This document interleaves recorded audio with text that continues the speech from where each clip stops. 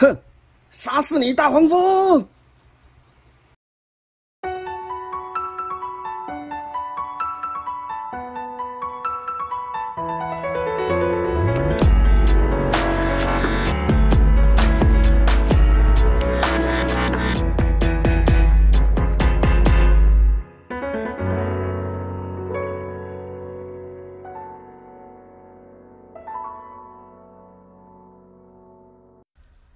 欢迎各位再次收看《虎夫骑车的变形金刚》分享时间，这是我们一千六百八十七集的节目。我们今天给大家分享布鲁可推出的变形金刚超越版的积木。先前有给大家做过它的群星版，那是一个盲盒的系列，里头抽到什么玩具呢？其实大家不知道。但这一次的版本的话呢，外盒已经告诉你里头是什么内容物，所以我们来看一下它的包装盒，非常非常漂亮，闪闪发光啊！特别是大黄蜂，它的眼珠子，各位看到这个镭射效果真的是抽的非常的棒啊，包括它上面的反光的部分。镭射效果是很 很有意思的，虽然说我们个人是比较喜欢低调奢华的一种包装盒，但偶尔看一下亮眼华丽的东西也是很不错啊。这个反光效果真的可以，然后这个效果配上这个动作啊，有一个引导线的构图啊，是非常棒的。那么后面的话呢，则是有一些呃侧边的话，有一些专属武器的配件啊，还有一个呃简单玩法的一个介绍啊。特别是这款大黄蜂呢，它有啊附带了一个跟天灾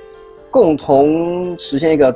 经典画面啊，从此你这个大黄蜂的一个 一个组合的一个配件都附在这里。那其他的话呢，有一些他个人的基本资料。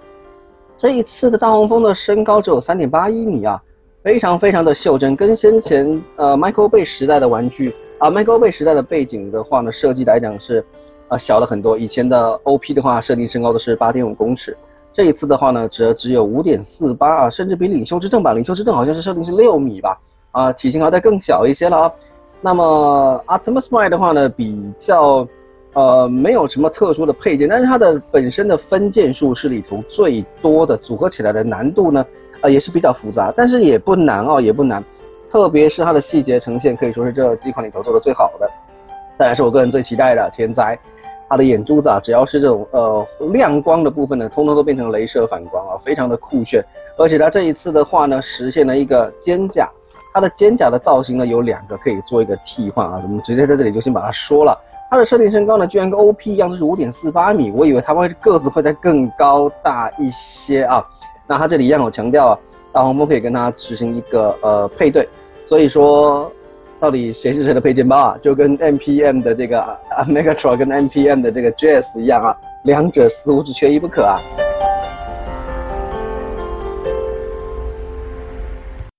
那我们一次把三个玩具通通拿出来，它这次有附带一个贴纸，每一个人物呢都有贴纸。贴纸的话呢是贴在地台上面的，可以做对地台呢做出更华丽的一个点缀啊。这里切一个角，然后是人物的眼神的特写。那我们就先从 OP 开始看吧啊。首先的话呢，它的地台跟这个组合只要踩上去啊就可以，没有任何的难度。然后 OP 的话附带的这个是。《饿狼传说》吉斯的烈风拳嘛，我不晓得为什么它的特效是这样，可能是要做出一个急刹车的一个动画啊。呃，这个地台的话呢，本身效果不错。那我们来看一下玩具本身，先对比一下，先天给大家做过它的群星版的一个 OP，我们来对比一下它的大小。各位也可以在我掰的这个过程当中看到玩具的细节呈现，可以说是非常的丰富啊。那这是先前的一个盲盒的版本，两个可以说是。都是经典的 OP 的形象啊，但是在细节表现啊、分色上就有很大的不同啦。这一次的是属于电影版的一个高高密度的细节展示啊，特别是背后啊，各位可以看到是有相当大的差别的。但是呢，先前的这个盲盒版本的话呢，武器配件要多得多，而这一次的 OP 的话呢，明明有附带拳头，但是拳头里头却还有一个洞，可是没有附带武器给我们。它的武器是一个替换的手炮。啊这个手炮的细节的话呢，它是由三块部件来实现的，这里一块，中间一块，前面一块。前面的话呢，还有做出一个类似于是小刺刀的一个细节的刻画。那么眼珠子的话呢，是可以发光，但是这个发光的话呢，啊，只有到这个本体而已。那发光的话，我们是都是摇晃，但是我个人觉得是要是要敲击一下，敲击一下地面啊，或者是桌面，它的眼珠子才会发光。它发光的结构是在里头，但它光透上来，透过脖子呢是一个透明部件啊。实现到它的一个眼部透光的效果，那这个肩膀的话呢，一样啊是没有穿模的效果的，是差评。那么二头肌可以转动，手肘弯九十度，拳头当然是可以转动的啦。那它的一个胸呃手炮的替换很简单啊，从这个地方整个部件啊把它给拔下来，这个手炮的大小可以说是非常的巨大啊啊，看一下这个身形比例来讲的话，它占了身体的一个相当大的一个比例。那拳头的话呢，我们就把它给做上一个替换，用力一塞就行了，就出现了啊，我们一个非常经典的电影系的一个 OP 站立的一个形象。那它的腰身可以转动，头的话低到这么多，那它的眼珠子的发光大概会持续啊，好吧，灭了。总而言之，它会持续一段时间啊。你再这样敲一下，OK，它的眼珠子就再次发光了啊。而它的眼珠内部的话呢，呃，是非常晶莹剔透的，这个再多看几次你都会觉得很漂亮。口罩上面也有很多的细节啊。这一次虽然是小型的积木玩具，可能不到十公分的大小，但它的细节真的是满满的。但是啊，可能也是毕竟是小型的玩具，有我是觉得有一些细节的部分稍稍还是稍微显肉了一点，但整体来说已经是相当相当厉害了啊。后面的轮子，轮子当然是不能转动的，还能动那就不得了了。那这个有一点是，它是透过一个银色的外壳里头的内骨骼啊，多个零件来实现一个更好的一个立体感。背后的话呢，就有这个脊椎骨的一个刻画了啊，然后它的可动的话呢，呃，这个脚前踢，啊，膝盖弯大概这么多，然后脚的话是一个球形关节，自然有一个很好的接地效果。所以脚底板很大，加上说如果你把它站在地台上的话呢，它就是根本可以实现很好很好看的站姿了啊。那这个 O P 的话呢，就暂时到这边，我们把它给扣回去啊。即使你不扣的话呢，也是站的也是挺稳的啦，扣一边就行了。那我们接下来看一下这一个天灾，天灾的话呢，它附带的是这个火焰的特效，然后它的贴纸啊，各位可以看到这边是一个它的特写，这里就是它的一个派系的标志。那它所附带的配件呢，则是一副替换的肩甲，